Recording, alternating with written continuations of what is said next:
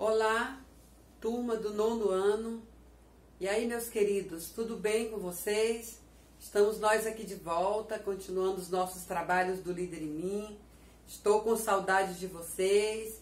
As coisas aos poucos estão aí sendo colocadas no lugar e com certeza nós também, logo, logo, com a graça de Deus, se assim né, for permitido, nós estaremos juntos, trabalhando, assim, olhando um ao outro, ok? Então vamos aqui dar continuidade aos nossos trabalhos. Hoje nós vamos encerrar essa unidade, digamos assim, desse tema decisão, falando sobre amigos. Semana passada nós tivemos a primeira aula e hoje então nós vamos encerrar com essa segunda aula. Espero que vocês tenham assistido os vídeos, tenham refletido também sobre a importância da amizade e valorizem ainda mais os amigos de vocês. Hoje nós temos como conceito-chave escolher bons amigos e ser bom amigo pode evitar que você tome decisões ruins. Isso mesmo, meus queridos. O conceito-chave hoje, ele nos traz um momento grandioso de reflexão escolher boas amizades, né? Você que tem seus amigos, você que está aí querendo fazer novas amizades, escolha bem. É lógico que não está na testa escrito dizendo esse aqui é 100%, mas a gente pode analisar aí o perfil, a postura de cada um. Nós temos a atividade 4 hoje. A primeira atividade é sendo um ótimo amigo. Olha aqui, nós estamos vendo essa imagem aqui e retrata muito bem aquele momento gostoso que a gente gosta de ter com os amigos, tomar um refrigerante aí no final do, das aulas de vocês, que vocês dão um pulinho lá na padaria, tomam um refrigerante, comer alguma coisa. Esse momento saudável em que a gente tem a oportunidade de conhecer ainda mais os nossos amigos.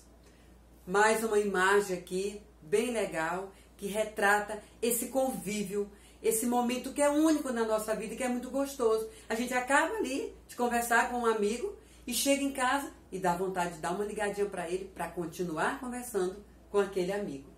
Pois bem, você, você já deixou de ser um bom amigo para alguém? Já deixou de ser um bom amigo para alguém? Como você se sentiu? Né? Às vezes aquele momento que bate na gente e a gente não não curtiu muito, ou a gente não foi muito sincero com o um amigo naquele momento.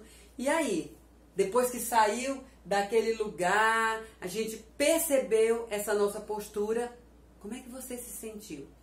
Bem, mas isso você infelizmente só vai responder para você mesmo. São reflexões que você vai fazer sozinho aí e vai responder para você mesmo. Se por acaso aconteceu isso com alguém do nono ano, pessoa que está no seu convívio ali direto, aproveita e faz uma ligação, pede desculpa, diz uma coisa legal, ok? Você já tentou olhar ao seu redor e perceber se todos os seus colegas de sala se sentem incluídos ali no grupo, ali na sala, ou tem aquele amigo que fica sempre no canto, ali meio de lado, né? Aquele amigo que você percebe que não está muito entrosada ali com os outros, muito inteirada ali daquela coisa. Preste atenção. Preste atenção, porque esse olhar é muito importante. Tá? A gente sempre vai encontrar alguém ali no nosso meio que está precisando de fazer uma boa amizade e que às vezes não tem coragem. E às vezes muito próximo, né? E a gente não se permite conhecer, conversar, saber um pouco mais dessa pessoa. Para ter um bom amigo, você precisa ser um bom amigo também. E a melhor forma é sendo atencioso, respeitando sempre o outro e, acima de tudo, sendo muito acolhedor. Isso mesmo. Às vezes a gente cobra tanto do outro que não é um bom, não é um bom amigo, mas e eu? Será que eu também estou sendo um bom amigo? Será que eu estou sendo respeitoso com aquele meu amigo? Ou quando ele está na minha frente ali, é uma coisa, eu trato super bem, mas aí quando ele vira as costas, eu já mudo completamente. Cian, é, Cian Cove, não, que é o filho de Stephen Cove. Stephen Cove tem uma frase que ele diz que a gente não deve falar mal dos ausentes. Sabe por quê? Porque se eu falo mal do amigo que está que não está aqui, aquele outro amigo que está ali também pode me dar mesmo, pode me dar truco. Fazer a mesma coisa comigo. Então, muito cuidado, tá? Vamos ter muito cuidado dessa forma respeitosa, essa coisa de honrar o amigo. Vocês viram muito bem nos vídeos que eu enviei na aula passada. Essa coisa de respeitar o amigo, isso é muito importante. Isso faz sim com que a gente tenha bons amigos. Mas, para que isso aconteça, primeiro tem que começar de mim. Para termos uma amizade sólida, verdadeira, precisamos cuidar fazendo depósitos todos os dias. Hum, e o que, que seria isso? Eu tenho certeza que vocês, meus alunos do nono ano, não esqueceram. Não esqueceram. Porque vocês já estão estudando isso desde o sexto ano. O que, que são esses depósitos? Ir ao banco, depositar algum dinheiro? Nananina, não. Vamos já relembrar aqui para vocês. Você lembra o que são esses depósitos? Hum, então vamos ver aqui. Mas cuidado, estes depósitos devem ser sinceros e nunca com interesse pessoal. Isso mesmo. Se esses depósitos forem feitos só porque o meu amigo, ele é, né, fera em matemática, em química, em português, e eu preciso dele, ah, então vou fazer um depósito aqui, para esse meu amigo achar que eu sou um bom amigo. Não faça. Não faça porque isso quebra a verdadeira amizade. Tem que ser depósitos sem interesse pessoal. Os bons amigos são como estrelas. Você nem sempre as vê, mas sabe que eles sempre estarão lá. Isso mesmo. Eu tenho certeza que você tem amigos que não está todos os dias, que não faz aquele, aquele passeio ao shopping, que você nem sempre fala, mas quando você precisa, ele está lá pronto para te ajudar. E às vezes nem precisa. Ele percebe que você não está tão bem. E vai lá, saca tudo e vai ao teu encontro. Bem, antes da gente passar para esse aqui, deixa eu lembrar vocês aqui. Calma aí. Depósitos são atitudes respeitosas, são palavras amigáveis, são momentos de, de carinho, com o meu amigo, palavras que edificam esse meu amigo, atitudes que deixam ele com a autoestima lá em cima. Tudo isso são depósitos na nossa conta bancária de relacionamento. Se eu não faço isso, a minha amizade enfraquece. Se eu não faço isso, não é amizade. O meu amigo tem que se aproximar de mim e sair de perto de mim muito melhor do que o que ele chegou. Para que ele saia feliz, para que ele saia melhor. E depois pode dizer, poxa, amigo, olha aquele papo que a gente teve, aquele momento que você estava lá perto me ouvindo, a tua companhia foi muito legal. Me fez agora me sentir muito bem. Isso são depósitos.